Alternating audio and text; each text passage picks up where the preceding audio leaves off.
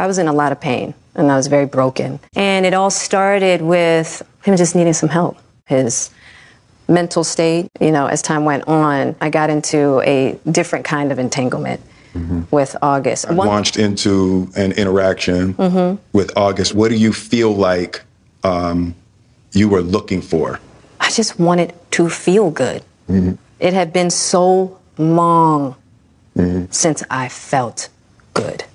What's the presupposition here? It's presupposed that Will didn't make her feel good, and Jada's drawn out speech and firm eye contact indicate that she's very comfortable saying this.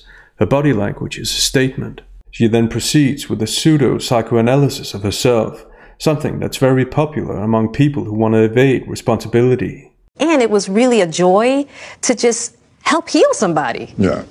I think that has a lot to do with my codependency which is another thing that I had to learn to break in this cycle of just mm-hmm. that idea of needing to fix and being drawn to people that need help, whether it's your health or whether it's your addictions. Mm-hmm. There's something about that childhood trauma mm-hmm. um, that feels as though it can be fixed through fixing people mm-hmm. versus fixing me. Yeah. In this type of context, people criticize themselves for self interest to portray themselves in a more favorable light.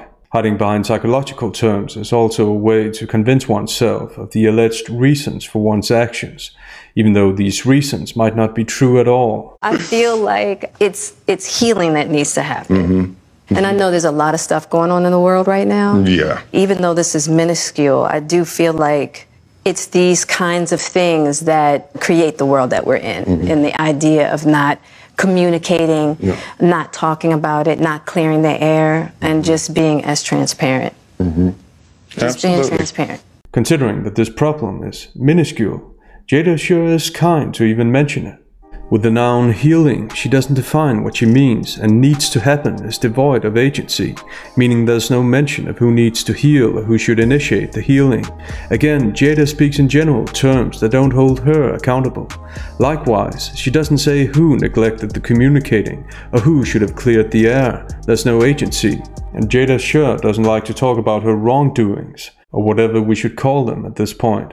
So we come into the red table. So I'm in I'm in the Jada position right now. So okay. you know you during that time launched into an interaction mm-hmm. with August. What do you feel like um, you were looking for? Jada doesn't mirror Will's playful behavior with her serious facial expression while saying, oh, okay. Oh, you know, you. She achieves two things. She lets Will know that she doesn't find it funny, and she gives him a hint to tone down what he's about to say. Will had a hard time concealing the anger he visibly felt in the moment. Watch how his words contradict his facial expressions. There's a real power in the just knowing somebody's riding with you no matter what. Yeah.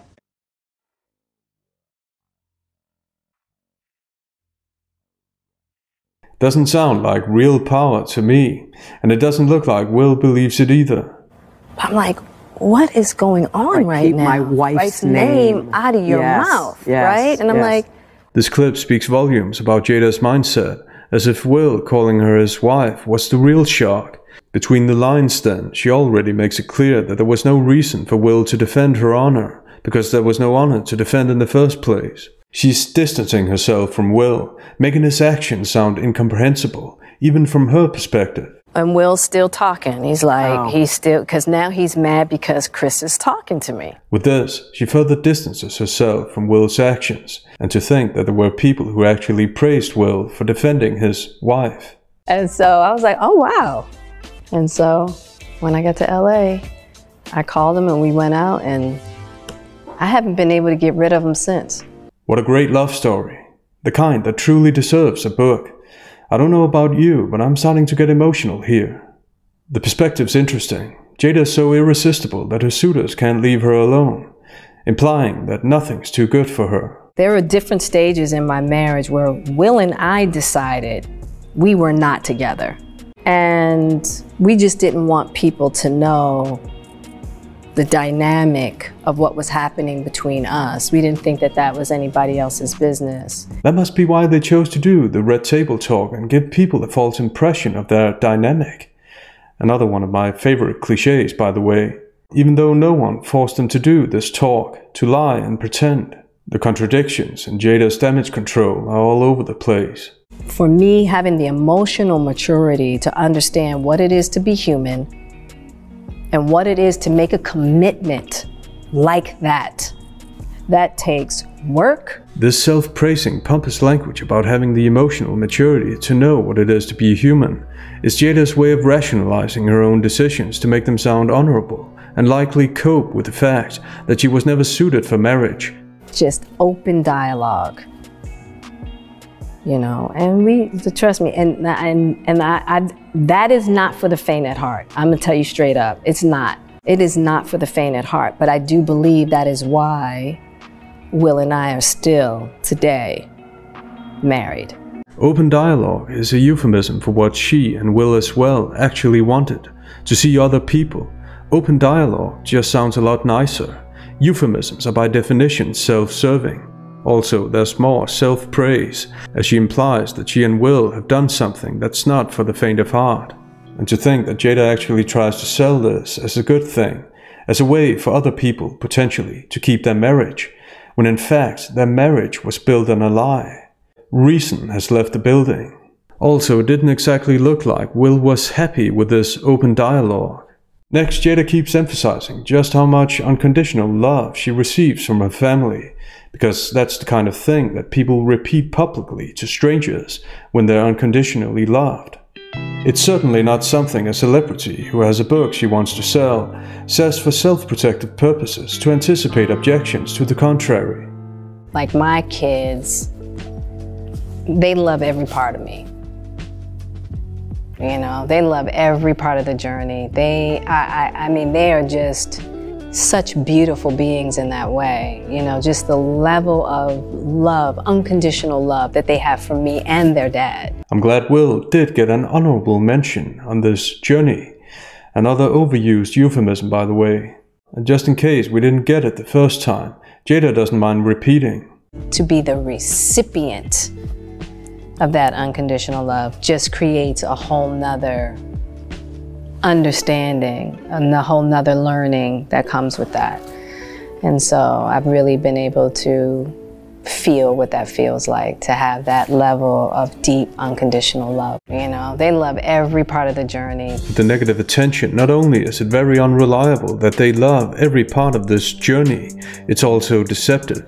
Yet Jada has no problem portraying things in a positive light, which speaks volumes about her indifference to the fact that this isn't or can't be the whole truth. And the beautiful part about it is like the whole this whole journey, as difficult as it's been, has just brought Will and I closer in such an authentic oh, way.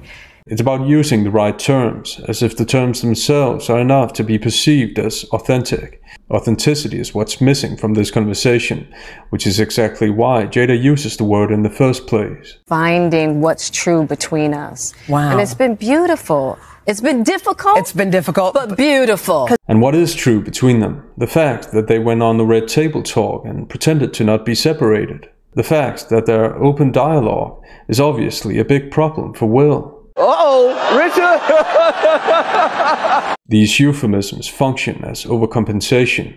When people know they're on the wrong track, they'll overcompensate with positive language. Because we were in such, you know, we were just kind of in this very fragile place. And so now we're just super solid. Yeah. And so now I can actually talk about what the journey has been with her movements and hitching language. You know, we were just kind of. Jada has a hard time coming up with a reason that sounds credible. She ends up with the adjective fragile, which is an appeal to people's emotion and pity. And yes, things between Will and Jada truly sound super solid, which is something people would say when they know the opposite is true. We are in a place now that we are in a deep healing space. And we are really concentrating on healing the relationship between us. So but wait, I thought they were in this healing process years ago. You and I were also going through a process of healing in a much different manner. Mm-hmm. We never, ever, ever thought that we would make yeah, it back. Yeah, you thought I was that that I didn't have the girth that it was going to take to ride with I you didn't, through. Yeah. Besides, if they're in a healing process, whatever this means, Jada never tells us anything specific. How can she talk about this beautiful journey as a completed event when they're obviously still on it? And so now we're just super solid. Yeah. And so now I can actually talk about what the journey has been. Then again, this interview in name only isn't a place for actual questions. When I saw him get up, I was like, oh, did he and Chris decide to do this bit together? Um, Yes, because it's totally conceivable that Will wouldn't have told Jada before going, and that the bit would be about Jada's appearance. Jada is obviously aware of how this sounds because right after the host says that it wouldn't be a good bit, she parrots him by making a modification. a bit, because I've seen Will. It wasn't a great knock bit. out- It wasn't really a great bit. Right. And I was like, oh, this is a bit. This is a strange bit, but okay. Right. With this modification, Jada is stating the obvious that her belief that this was a bit was either very weak or non existent. This is a strange bit, but okay. Right. And next we see just how empty Jada's jargon is, as she can't even substantiate the words she's been repeating at nauseum. It's What- been beautiful. What does that beauty look like for you day in and day out? So are y'all living together? It's just this beautiful connection. Jada visibly dislikes this question. Again, the adverb beautiful- just oversimplifies her explanation, or lack thereof, and points to the existence of another thought, likely the opposite thought, that either this connection isn't beautiful, or what she said doesn't even make sense to her. Pro- we will. Mm-hmm. Look at that. Not right now. but you will. Yeah. Yeah, Oh, yeah. That's. Why do you say that with such assurance? Clarity. I think I know the answer to that one. She says it with such clarity because she didn't know how else to get out of the situation. Let's watch it again. So are y'all living together? It's just this beautiful connection. Pro- we will. Mm-hmm. Look at that. Not right now. but you will. Yeah. You know, but right now, I really do enjoy my space. Yeah. Yeah. I am a my mother's only child, Yeah. right? What does being an only child have to do with anything? Nothing, of course. It's another desperate attempt to appeal to pity, something which Jada is so eerily good at that it suggests she's been doing it throughout her entire life. You know, but right now, I, With the conjunction but, she minimizes or completely negates a talk about her and Will getting back together, and thus negates the beauty she spent two minutes talking about. and so having this time that I've had to myself has been fantastic. Uh-huh. Just to get to know me, you know, Jada's constant use of the expression you know, which appeals to alleged shared knowledge between two speakers or more, underlines how much more important it is to her to persuade than substantiate her statements. One of the things that I learned about you is that you love radical honesty. Mm-hmm. yeah. And yet, you know, for the, for the last since mm-hmm. 2016, you had to have been pretending a little, mm-hmm. right? Well, I wouldn't say uh, we got to be careful with pretending, Okay. right? Because Will and I love each other, Right. Right, and so all the love that you guys have Was seen, real. That's real, Right. Mhm. There's no pretending. No, of course, there's no pretending. I mean, it's not like they literally chose to do the red table talk when no one forced them to. We never, ever, ever thought that we would make yeah, it back. yeah. 25 years and counting. Mm. We ride together. We die together. So, no, the kind of love they let people see wasn't real. All the love that you guys have Was seen, real. That's real, Right. When asked about the facts that she went on talk shows and was asked about her love life, Jada says this. Well, here's the thing mm-hmm. about that. That's mm-hmm. not anybody's business. Yeah. Mm-hmm. So did you want to just She says after making intimate details of their relationship public, Here we are, solid as a rock, and people still confused. yes, everything's so solid. That must be why she couldn't explain what's beautiful about their relationship. does that beauty look like for you day in and day out? So are y'all living together? It's together? just this beautiful connection. To go without any relations for six years is an awful long time. So I would imagine that both of you at some point had other, maybe not loves, but other Partners. partners or relationships. Listen, I can only speak for myself. Yeah. But, you know, I had one situation and that was it. I guess that's why she spent her interview with people, hammering the point about seeing other people. and you think there is not going to be straying eyes that that that didn't seem realistic at all there are different stages in my marriage where will and i decided we were not together Jada talks about different stages, plural, when we couple this with her assertive Listen, I- imperative, listen, Listen, I can. and how fast she wants to move on. It all indicates that there were likely other situations, which is the euphemism she uses. And one of the things I've learned about your fans is they're fierce, man. Mm-hmm. I mean, some of them are are feel betrayed. Mm-hmm. Right. Have you read? Do you see that? Does that? Do you mm-hmm. do you Well, get that? They can feel betrayed. Yeah. You know, and that's okay. Yeah.